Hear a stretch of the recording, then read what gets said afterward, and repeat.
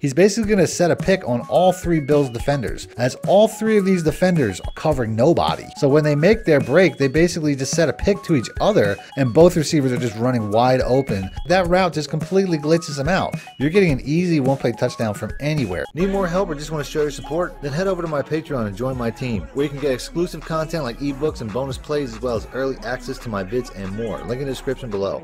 Welcome back, Money Team. Last year, I started a monthly video where I put out some of the best glitch routes found in every single playbook in Madden 23, and I want to continue that this year because it was very popular. But if you guys want to see more of this type of video, as always, please make sure to be a subscriber, hit the like button, let me know in the comment section. In today's video, I'm going to show you guys several glitch routes that I found while I was preparing my Madden 24 ebooks. A lot of the routes I'm going to show you today can score against any defense in the game, but I'm going to focus specifically on man beaters, as that's probably the most dominant defense in Madden 24 so far Starting off, I'm going to show you guys two plays out of the gun stack wide flex offense from my Saints offensive ebook. There's so many glitch routes in this particular formation that I can make an entire video like this just about this offense. But luckily for you guys, I already did. So if you guys want to see a full breakdown of this offense, I will have a link in the description as well as an on-screen pop-up at the end of the video. So stick around for that. The first play I'm going to go over is the drive age wheel. And it's because I've already showed this in the past. I'm going to go through this really quick. On defense, we're going to pick a man zero blitz. All you really have to do for this play to work is put the X route in a streak, but for blocking purposes, I typically check and release the running back. If I put him in a straight up pass block, the safety that's in front of the X and Y route will turn to a deep zone. I don't want that. So I want to hold that safety and coverage while also getting the blocking from a check and release. So this will basically buy me a little bit of time. And you'll see how this X route here can really get wide open, even though I was clearly under pressure as I had a fully red uh, target bar there. I showed that play first because I think that particular route can be a little bit hit or miss in Madden 24. And I think that I found an even better one this year in the PA read, which is a one play touchdown against every single defense in the game. Link in the description once again. For this play to work, you really need to be going against a defense that has at least three cornerbacks because I've noticed that if a safety is covering one of these receivers, it really doesn't work. It's all about the spacing of the cornerbacks at the start of the play. After that, it's best to run from a hash mark to the short side of the field, but you really don't have to. You can run it from anywhere and I'll still have a different varying degree of success. The setup is really just to put the Y route on a fade. That's all you got to do. But then I also put the running back in a check and release, which is important for the, the safety once again. So at this point, I really don't have to do anything else. And both of these receivers will get open by a lot, just as long as I could time that a little bit. As you can see, he was open by about 10 yards. And I could have threw to the other receiver as well. So basically, when six goes around to fade, you can see that these cornerbacks are basically hip to hip. And they're running parallel, but they're supposed to be covering the other guy. So when they make their break, they basically just set a pick to each other to the point where they're really just blocking each other now. And both receivers are just running wide open. So I'll go and I'll do that one more time. Like I said, that time we get the animation glitch where basically Trevon Diggs just tries to shoot down to get to the cornerback before he makes that route.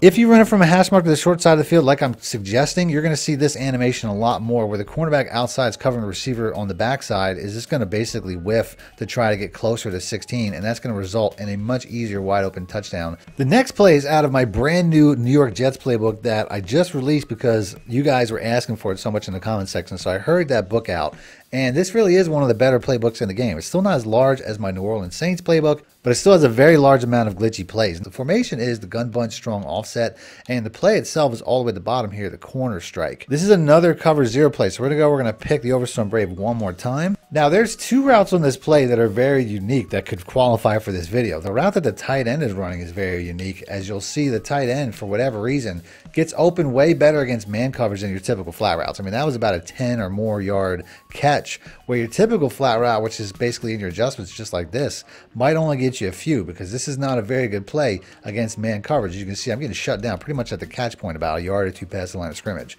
But the route that this play is really about is the B route. As you'll see, Tre'Davious White, a superstar cornerback, has no success covering this B route once he breaks outside. And you can see this is a catch and run one play touchdown, an instant catch and run one play touchdown any single time somebody runs man zero against this play. Just make sure you run it from a hash mark to the open side of the field. And you can see Tre'Davious White is in a great position to stop an outside route. He has outside leverage for by about five yards on Garrett Wilson. And for whatever reason, he still cooks him to the outside. Now, I know this route doesn't look like much. It's just a simple corner route, but I don't care where you are in the field. This route gets open instantly. It doesn't matter if this guy is lit up or not. You're getting an easy one play touchdown from anywhere, anywhere on the field, just as long as you get a nice smooth catch and run and you have a receiver fast enough to run the length of the field.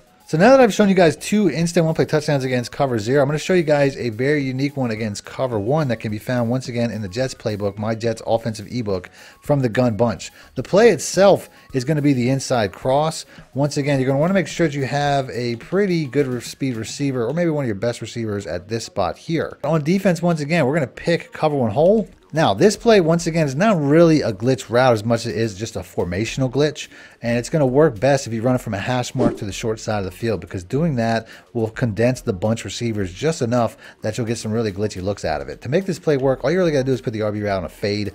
After that, you want to put the X route on a streak just to try to pull the safety in that direction as much as possible because it is a cover 1-1 play touchdown and there is a safety over the top. So fading that RB route, you'll notice that when he gets through all these cornerbacks, a lot of times he'll just get bumped around to the point where he runs around everybody. One of the other reasons why this play works is because I put this guy on a fade and not a streak. If you put him on a streak, he's going to try to run through the press and it's not going to work. He's going to get jammed inside towards the safety. That's what pressing does.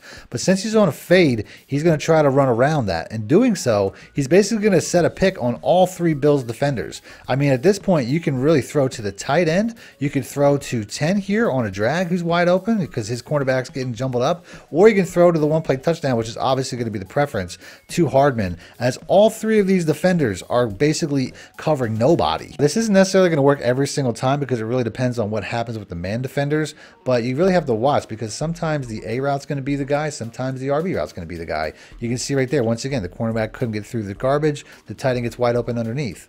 Sometimes the RB route will get open by a little, sometimes they'll get open by a lot. You really just have to watch to see who's getting hung up on who before you make the decision. As you can see this time, Mecole Hardman is just wide open for another one play touchdown. So it's really two different routes in this play that can get open. And then last but not least, we got some plays and routes out of my Denver Broncos ebook, and it's from the single back bunch. We're going to address cover zero one more time, as that is one of the hardest defenses to beat and one of the easiest to score one play touchdowns against if you know the right routes. The play I'm going to use this time is going to be the PA boot slide. And once again, you're going to make sure you have your better receiver out here. I'm going to go ahead and take Allen Lazard. I'm just going to put in Corey Davis, who's on defense. Once again, we're going to go with man zero blitz. We're going to go with the Overstorm Brave. This play here doesn't really require any uh, adjustments, but I'm going to put that Y route on that magic check and release once again because it will give me some blocking and it will hold the safety in coverage. And then the B route here is going to be the play. Even with my man lit up one more time, Tre'Davious White has no chance of covering that route as it's probably one of the easiest one-play touchdowns in the game.